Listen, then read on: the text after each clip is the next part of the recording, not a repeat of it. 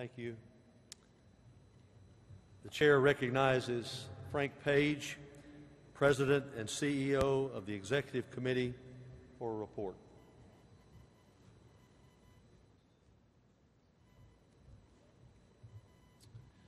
Thank you, Mr. President. Welcome to Phoenix again.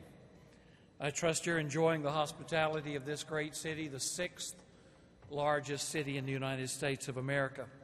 People are moving to Phoenix from all over the world. Having gone out on one of the teams with one of the seminaries on Saturday night, I can attest to the diversity of this great city as I went door to door and met people from many different cultures.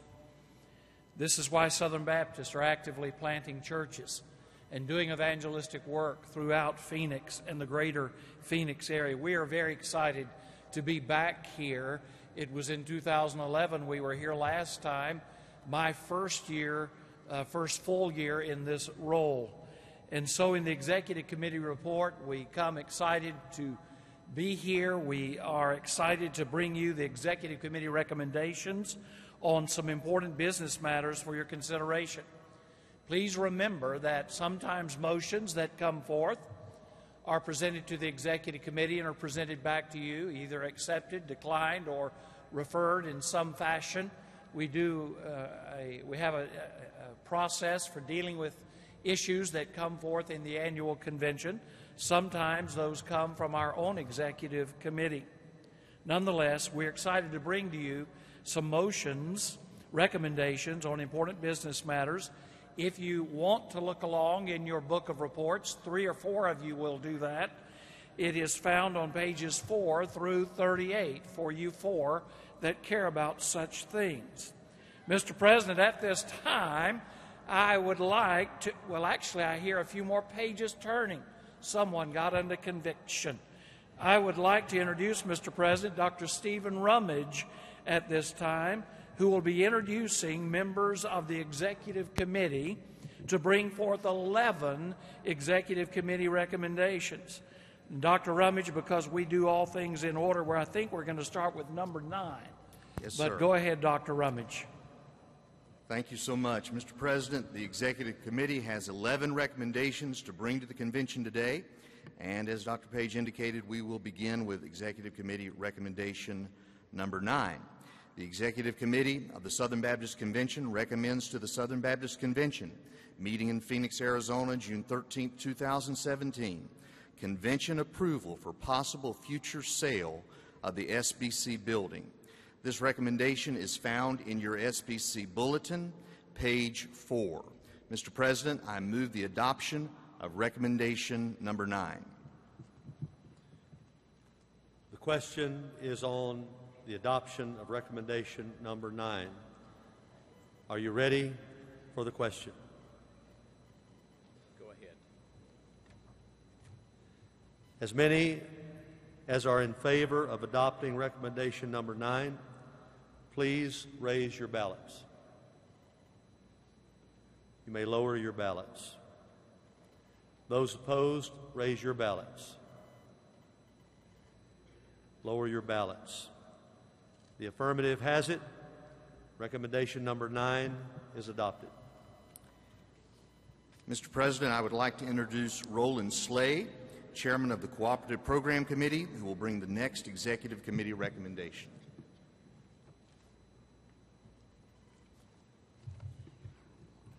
Mr. President, the Executive Committee of the Southern Baptist Convention recommends to the Southern Baptist Convention meeting in Phoenix, Arizona, June 13th, 2017, to adopt Executive Committee Recommendation Number One, the 2017-18 proposed SBC program allocation budget.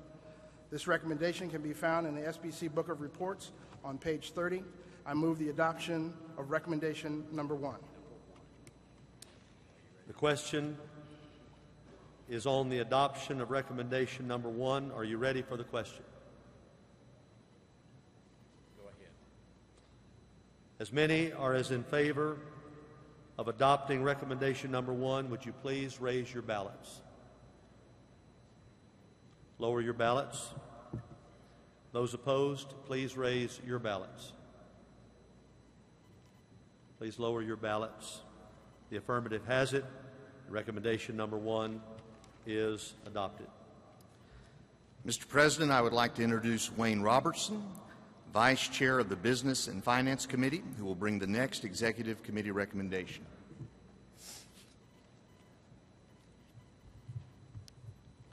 Mr. President, the Executive Committee of the Southern Baptist Convention recommends to the Southern Baptist Convention meeting in Phoenix, Arizona, June 13, 2017, to adopt the Executive Committee recommendation number five.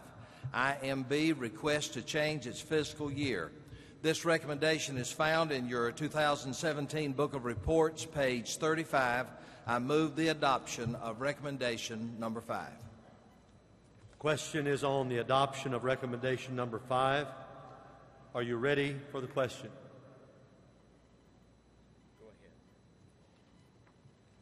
As many are, as are in favor of adopting recommendation number five, would you please raise your ballots? Lower your ballots. Those opposed, please raise your ballots. You may lower your ballots. The affirmative has it, and recommendation number five is adopted. Mr. President, I would like to introduce Stephen Swafford, Chairman of the Business and Finance Committee, who will bring the next Executive Committee recommendation. Mr. President, the Executive Committee of the Southern Baptist Convention recommends to the Southern Baptist Convention meeting in Phoenix, Arizona, June 13, 2017, to adopt Executive Committee Recommendation Number 2, 2017-18 Proposed Executive Committee and SBC Operating Budget. This recommendation is found on page 31 of your Book of Reports, and I move the adoption of Recommendation Number 2. Question is on the adoption of recommendation number two. Are you ready for the question? As many as are in favor of adopting recommendation number two, please raise your ballots. You may lower your ballots. Those opposed, raise your ballots. You may lower your ballots. The affirmative has it. Recommendation number two is adopted. Mr. President, I would like to introduce Philip Herring, Chairman of the Convention Ministries Work Group, who will bring the next Executive Committee recommendation.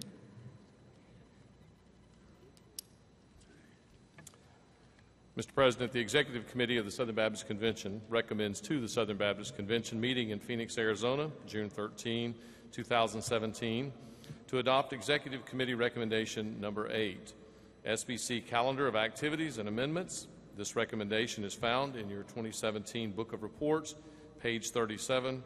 I move the adoption of Recommendation Number 8. The question is on the adoption of recommendation number eight. If, are you ready for the question?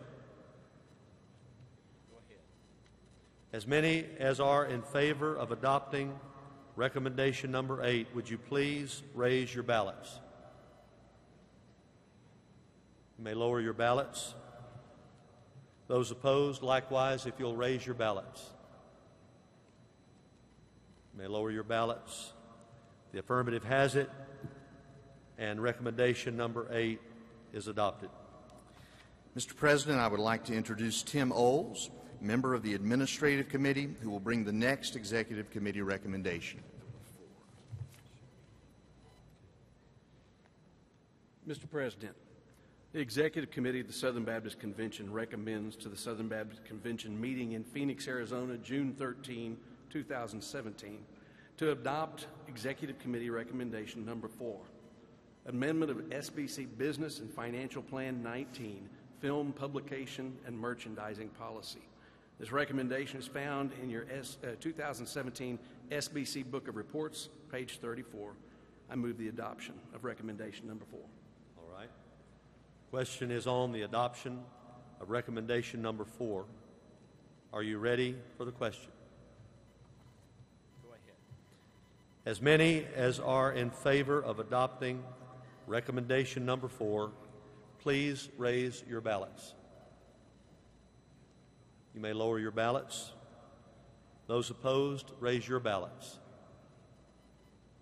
You may lower your ballots.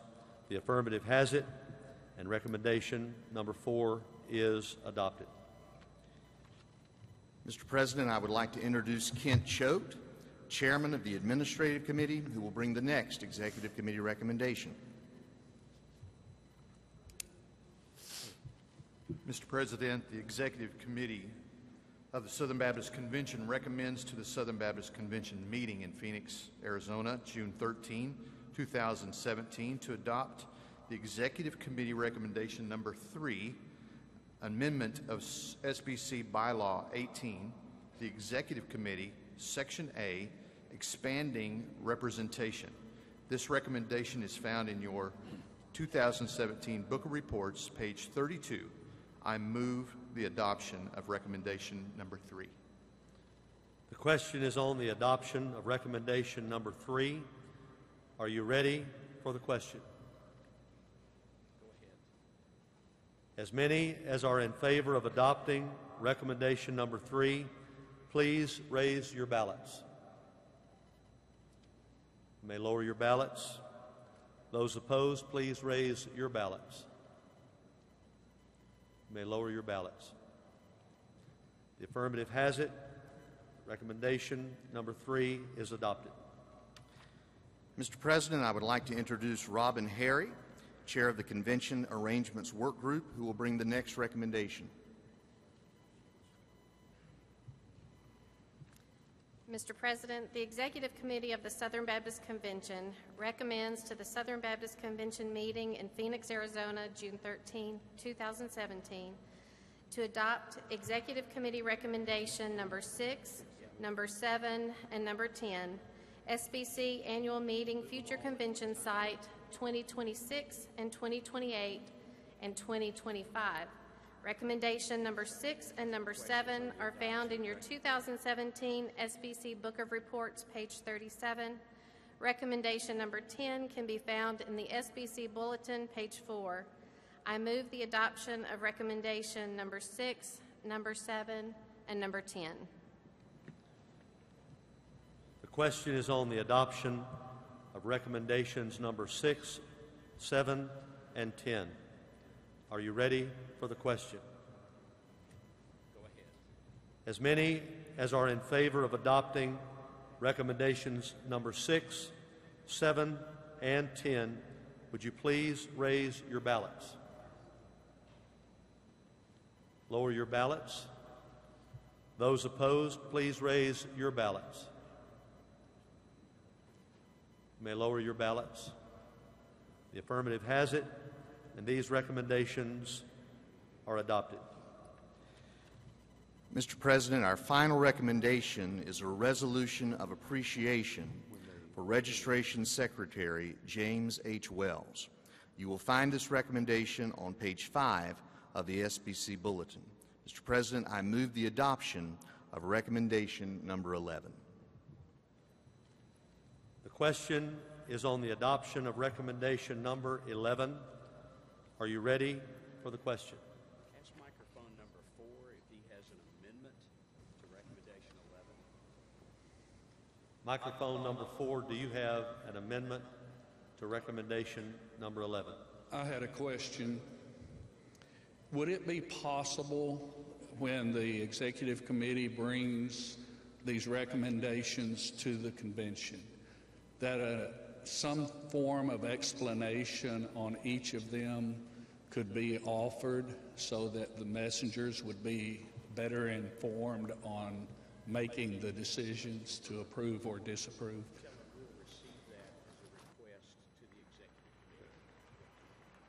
We will receive that. We will receive that as a recommendation to the executive committee as a, as a request. Thank you so much for that. Thank you, brother. Yes, sir. The adoption of recommendation number 11. The question is on the adoption of recommendation number 11. As many as are in favor of adopting recommendation number 11, would you please raise your ballots? You may lower your ballots. Those Those opposed, please raise your ballots. You may lower your ballots. The affirmative has it, and recommendation number 11 is adopted.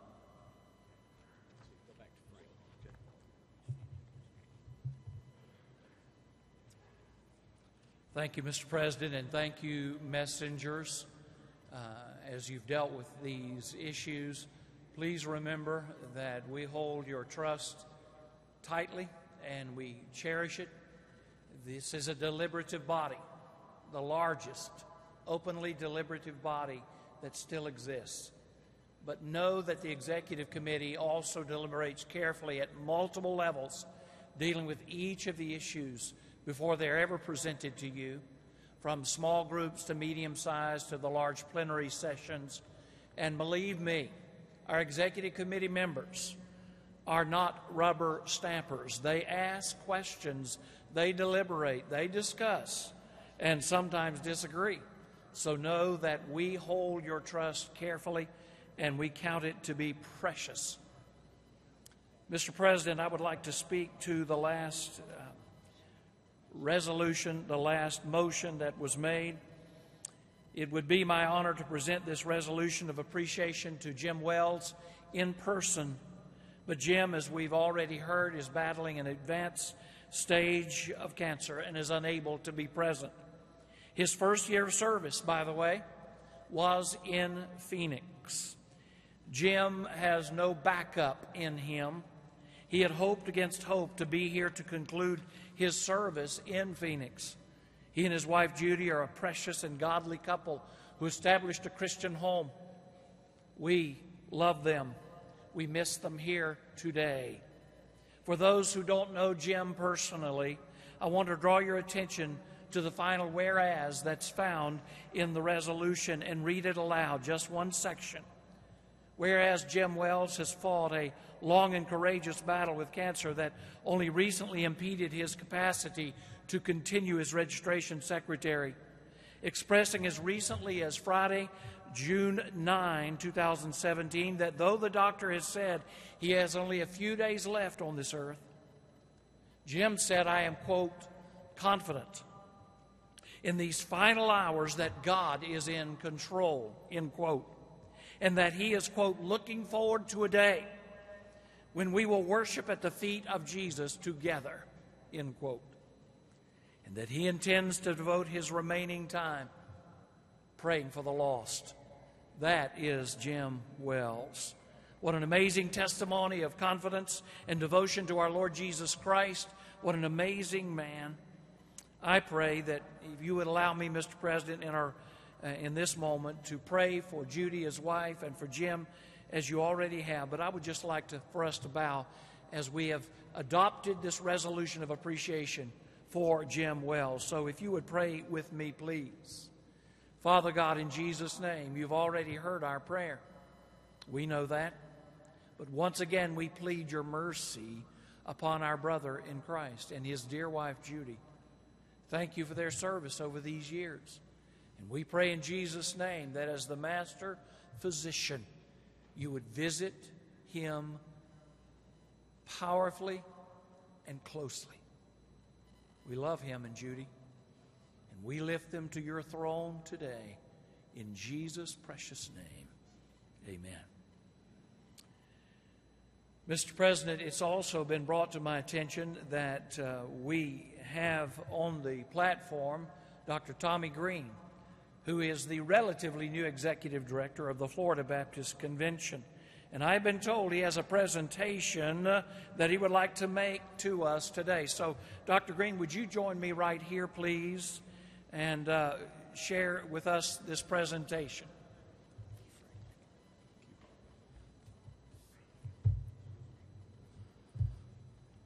Dr. Page and Dr. Gaines and messengers of the Southern Baptist Convention, the pastors who are assembling on the platform represent our Florida Baptist family among many who are seated across the convention center. Florida Baptist enthusiastically made a decision concerning cooperative program distribution in the year 2015. Prior to this decision, Florida retained 59% of cooperative program gifts of our churches within our state The decision made in 2015 led to a paradigm shift which changed our cooperative program formula to releasing 51% to the cooperative program of the Southern Baptist Convention and retaining 49% of cooperative program dollars in Florida. This decision of sending more than we keep of cooperative program dollars from our churches has resulted in a reversal of a decade long decline in cooperative program dollars in Florida. We're now trending upward, and we continue to rejoice in a $3 million increase from Florida Baptist churches to the Southern Baptist Convention Cooperative Program just this past year. Florida Baptist ministries continue at a high level, and we're grateful also to report a 4.5% increase in baptisms through Florida Baptist churches this past year. 5149 is more than a business plan, but it is a consistent driving missions mandate for Florida Baptist. And we recently completed the sale of our Florida Baptist Convention offices located in downtown Jacksonville. The property sold for $6,150,000, and we committed 51% of the proceeds of the sale of this building to the cooperative program of the Southern Baptist Convention. This gift is over and above our regular CP giving and specific to the sale of this property. This morning, we gather in this place to joyfully present this remittance of 51% from the sale of the building to the Southern Baptist Convention of the Cooperative Program, which totals $3,136,500.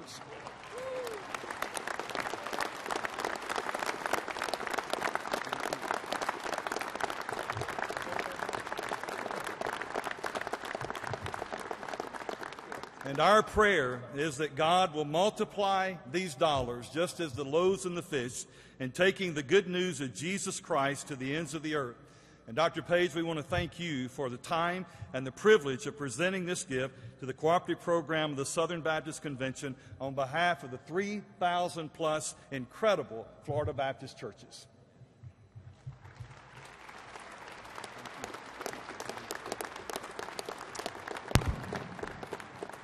Thank you so much to Dr. Tommy Green and to these Florida Baptist pastors who have gathered behind me.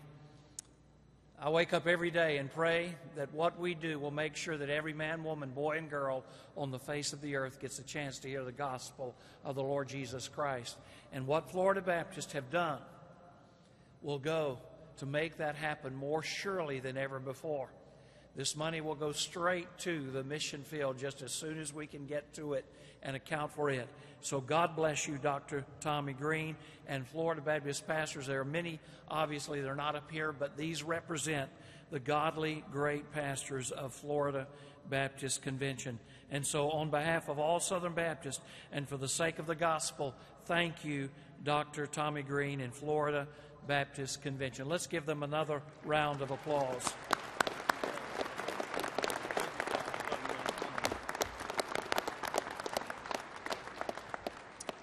Thank you so much, pastors. What a joy. What a joy. We've never had that happen before, and that is such a blessing and encouragement, and we thank God for that. Mr. President, also, as you're aware, since I uh, arrived in this position in 2010, it's been my joy to reach out to and relate to a number of subsets of persons within our conventions, many of whom have not been as involved and connected as we would wish. And so, beginning uh, the second day of my tenure, actually, I began appointing advisory councils to assist, to advise, to inform, and to involve Southern Baptists in deeper connection. These subgroups, these subsets of people have been precious persons with whom to work it has been my joy. Even last yesterday and last night, I visited with Native American churches represented here among us. I visited with uh, African American leaders and churches represented here among us. Last night, I also visited with uh, Hispanic and Latino leaders representing churches who are here among us today. And also, I visited with Asian American leaders and church leaders last night as well. It was a busy evening, but I thank God for each of them and others that I've not even mentioned that I will be visiting with at other times. But in 2015, Mr. President, I appointed a Women's Ministry Advisory Council. I had a deep conviction that women were under involved in our SBC processes. By the way, brothers and sisters, women make up 52 to 53 percent of our entire Southern Baptist population. And God gifts women according to His biblical roles, but those gifts that He has given them must be utilized in His kingdom. We know women can minister so beautifully to each other, and we wanted to find a way to find out what's, what were the best practices and just encourage women in their involvement of ministry to each other and in the kingdom of God. So I asked Dr. Rhonda Kelly, please come over here, Dr. Kelly, who is standing beside me, to lead this group of women. And the others would come beside, uh, behind her, please, also. I asked Dr. Kelly, who is standing with me, to lead this group of ladies to complete an entire study. Yesterday, downstairs in the Many Faces booth of our Southern Baptist exhibits, this group presented me with a report of their findings, their suggestions, their action steps, which will now begin the implementation phase. And so, we're excited to utilize the gifts God has given women to advance the cause of the gospel. Rhonda, I want to thank you personally for leading so capably for this council's work, for your leadership with this group. This report will be re- released and posted at sbc.net. That's a name you should remember, sbc.net. And it will be released and available for all of you to see and hold us accountable for the implementation of these suggestions in this report. And so I want to say, ladies, thank you so much. God bless you. I appreciate you so very much. Let's give them a round of applause, and especially Dr. Kelly. Pleasure. Thank you, ladies. God bless you. We appreciate you. Thank you so much. And others couldn't be here, but we appreciate those that could come and be here. Now, are you listening carefully? Three years ago, I know your memory is short, but three years ago, I presented to you a young couple as a part of our executive committee report. Keith and Paige Weezer, who felt God leading them to plant a church among college students in the Northwest. To start a church on the campus of the Washington State University. Now, you may pause a moment and say, why is the executive committee talking about all these things? Because it's our job to promote. And if we're promoting the work of the North American Mission Board, we're happy. If we're promoting the work of the IMB, we're happy. If we're lifting high theological education, moral advocacy, and all the other entities and agencies, we are delighted. And so we like to focus on certain things to show you what happens with the dollars your churches give to missions and ministries through the cooperative program. I like you to put a face on missions. Now, listen to me. As I travel, I hear sometimes people say, We just wish there was a face on the cooperative program. What's wrong with you? It has a face, and I'm fixing, that's what we say down south, to show you some of the faces of the cooperative program. I want you to welcome with me today Keith and Paige Weezer, who come today on a part of the Resonate Church Network to share a word. First, we're going to see a video, and then I want you to pay very close attention to what is said in the following moments.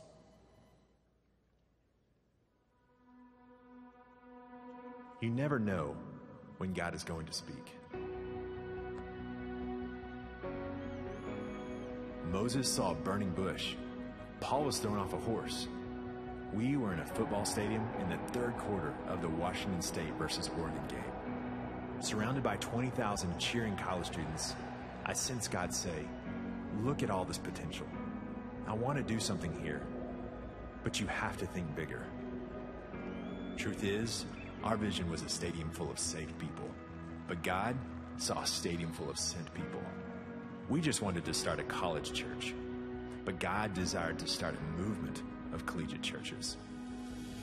On August 19, 2007, in Pullman, Washington, a part of the country where churches are few and college students in those churches are even fewer, we launched Resonate, targeting Washington State University. Within a year, we planted again at the University of Idaho. In 2012, we started our third site at the heart of WSU's campus, and it immediately became our largest Sunday gathering. Five years after launching Resonate, we were a church of 600 people, 20 staff, and three sites. God was using us to reach the most unreached among the most unreached. We were being celebrated as a success story, and we were feeling the temptation to slow down and settle. But we couldn't shake that voice in the stadium saying, I want to do something, but you have to think bigger. Still not sure what Think Bigger meant, we committed to send out two of our best leaders, Jacob and Jessica Dahl. In 2013, my wife Jess and I were featured at the Southern Baptist Convention in Houston as we prepared to plant at Central Washington University. God used the convention and the relationships surrounding it to clarify the vision He had for our church. I'll never forget our staff retreat that next year.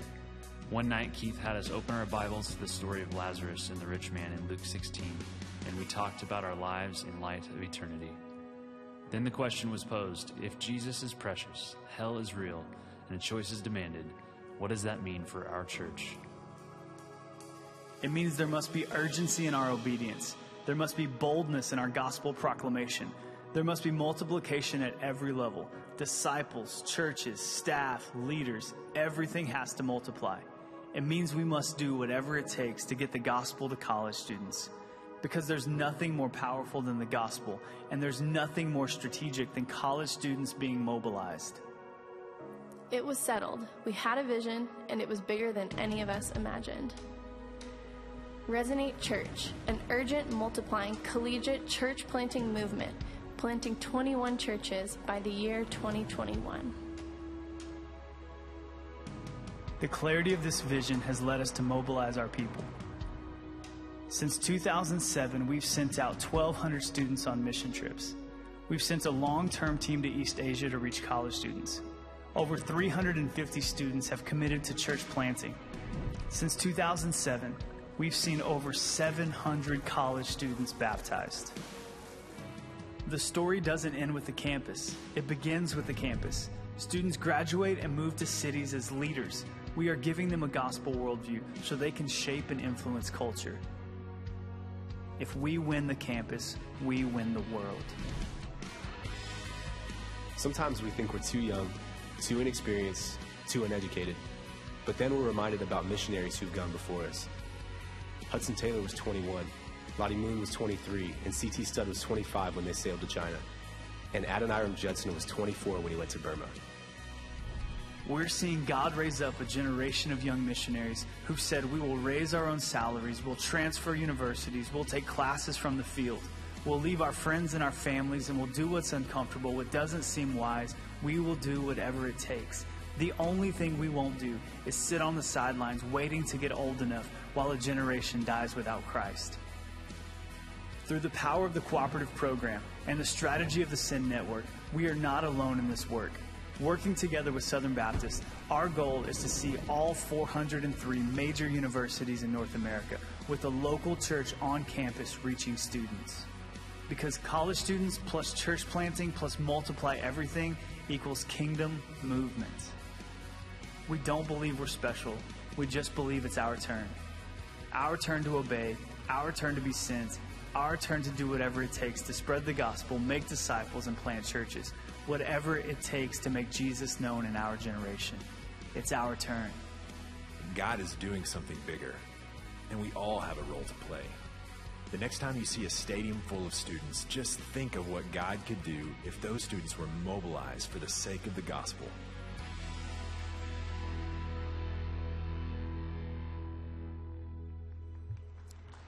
Amen. Amen. If you win the campus, you can win the world. 700 baptisms. You saw the face of the cooperative program. Stay tuned because this afternoon in Executive Committee Part 2, you'll see the actual faces of the cooperative program. And so we'll have more of that story later this afternoon. You'll get to meet some people. You want to be here for that. You will see how God is working as multiplication is occurring. God bless you. Thank you for listening. Mr. President, this concludes Executive Committee Report Part 1. Thank you, sir.